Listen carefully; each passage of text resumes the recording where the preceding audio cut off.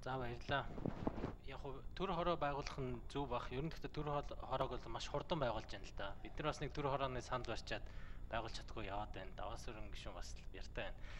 Йоо оюутлоготой холбоотой яг би бол илүү банк санхүү санхүүжилтийн талаар нь нэг ганц хоёр үг хэлмээр байна л да. 2015 онд оюутлогоо олон улсын банкудаас 4.4 тэрбум долларын санхүүжилт босгосон.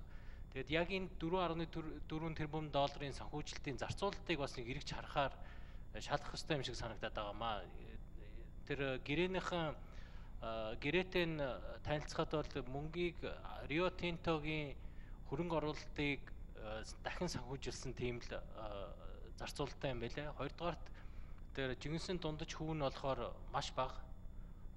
Лайбор дээр нэмэх нь 2.9 гэтэл Монгол талын зээл нь бол 6.9% хүүтэй байдаг.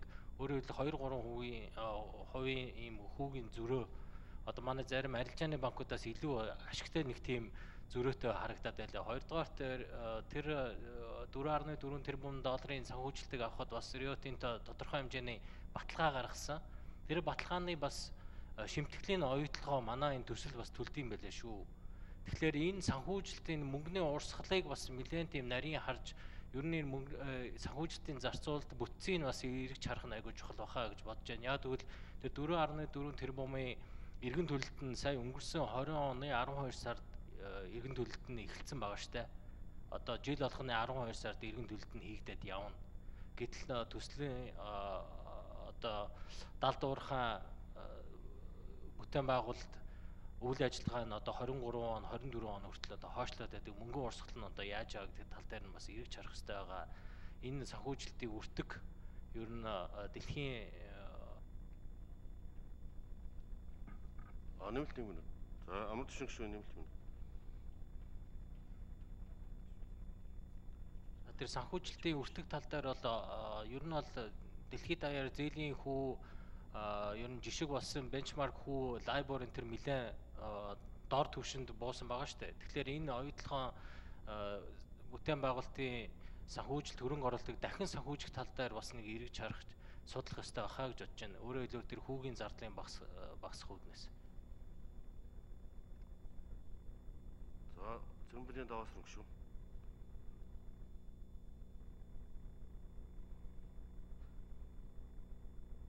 эрхэм гишүүний бас тэр төр хороо байгуулагдсан талаар нэг хариулт өгье гэж бодлоо. Тэр энэ нөгөө одоо оюу толгойн гэрээ, дубан гэрээтэй холбогдлолтой хоёр талаас нөгөө гэрээ хилцэл эхэлж байгаа. За эхэлж байгаа ажлын хэсэгт бол одоо бас их хурлын төлөөлөл орж байгаа. Засгийн газар зөвшөлдсөн учраас. Тэгэхээр их хурлын гишүүд бол одоо хувь гишүүнийхээ байдлаар энд оролцож болохгүй болчиход байгаа юм. Тийм учраас их хурлын дараагаас манай их хурлын удирдлагуудаас чиглэл өгөөд Ер нь их хурлын бүтцээрээ ажиллаж энд оролцъё. Албан ёсны бүтцтэй бай, албан ёсны шийдвэр гаргаад явъя, албан ёсны удирдлагчтай оролцъё гэсэн учраас энэ богино хугацаанд одоо эн чинь баг өнөөдрөөс хилцэл эхлэх байх маргааш бид нар ажлын хэсэг хуралдана. Тэгэхээр хагас өдөр маргааш гэхэд бол бид нар бас их хурлынхаа тодорхой удирдам чиглэлийг гаргах хэрэгтэй болчиход байгаа. Тэгэд энэ жоохон хурдан шуурхаа богино хугацаанд явсан шүү гэдгийг бас залруулж хэлье өнөөдөр хэлж хэсгийг шийдэх юм байна. За гişүүд асуулт асууж